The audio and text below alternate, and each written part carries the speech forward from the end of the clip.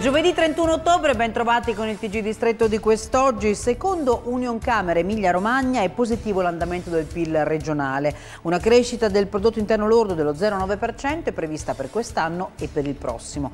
I consumi delle famiglie sono attesi a più 0,6 nel 2024, più 0,9 nel 2025. Per gli investimenti, quelli fissi lordi saranno più 2,9% quest'anno, ma saranno a meno 1,6% nel 2025. Tra i diversi settori quest'anno le costruzioni faranno un progresso del 7,6% e traineranno l'aumento del valore aggiunto reale regionale, che sarà sostenuto anche dai servizi a più 1,2%. Per quanto riguarda invece l'industria, moderata la ripresa, più 0,9% nel 2025. Ricevendo al Quirinale i nuovi Cavalieri del Lavoro, il Presidente della Repubblica Sergio Mattarella ha sottolineato il ritorno dell'Italia alla crescita economica e il ruolo che in essa hanno proprio le aziende. Sentiamo. La posizione netta sull'estero a giugno di quest'anno era creditoria per circa 225 miliardi di euro.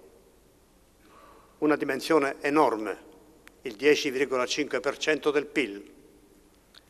Irragionevole che non venga notato dalle agenzie di rating nel valutare prospettive e affidabilità dell'economia italiana. Questa è la nostra posizione patrimoniale, un segno di forza, l'ha definita il governatore della Banca d'Italia nella sua ultima relazione. E il merito è delle imprese, dei capitani di impresa e dei loro collaboratori, insieme alle lavoratrici e ai lavoratori che in esse operano.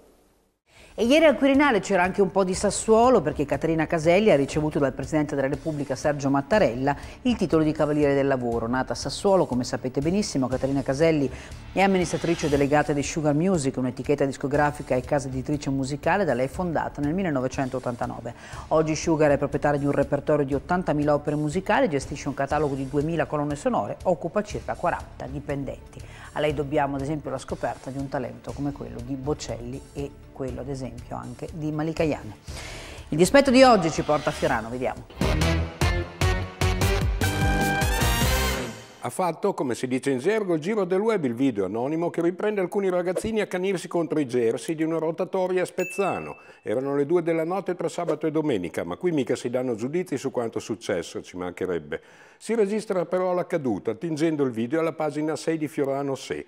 Tra le centinaia di commenti, alcuni profondi e pensosi, altri decisamente più beceri, seguiti alla pubblicazione del video, ce n'è uno tuttavia che ci strappa un sorriso e recita rivolta ai giovani vandali. Invece che andare a fi, spaccano le rotonde. Veniamo alla rubrica ecetal.com dedicata alle novità di prodotto che potete ovviamente vedere sul sito www.ecetal.com. Oggi la protagonista è ABK con NET, un progetto realizzato con Paola Navone.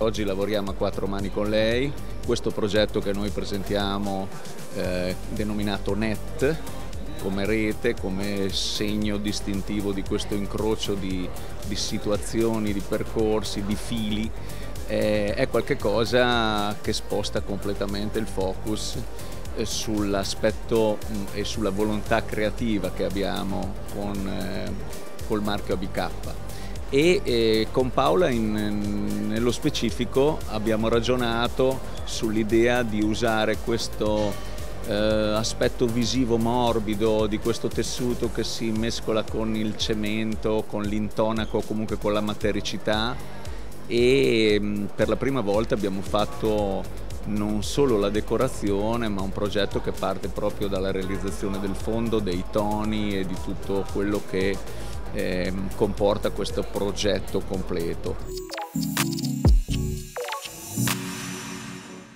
Per lo sport ci occupiamo di calcio, Serie B in campo nel fine settimana dopo il turno infrasettimanale, al momento Sassuolo secondo a 22 punti, due in meno della capolista Pisa, Reggiana quindicesima con 12 punti, Modena diciassettesimo con 11.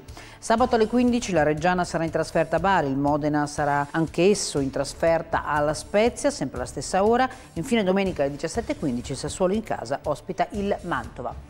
Chiudiamo come sempre con la montare del debito pubblico italiano, supera i 2.979 miliardi di euro. Mi raccomando non perdete questa sera alle 22.30 su TRC la puntata di Ceramicanda, vi porteremo a scoprire due nuove showroom e due nuove sedi di aziende, stiamo parlando di Cheop ed Energy Care, ci occuperemo del mercato russo, vi faremo vedere l'emozione di Giovanni Savorani nel ricevere il diciannovesimo premio Villa e poi per quanto riguarda la tecnologia ci occuperemo di Progetta e di System.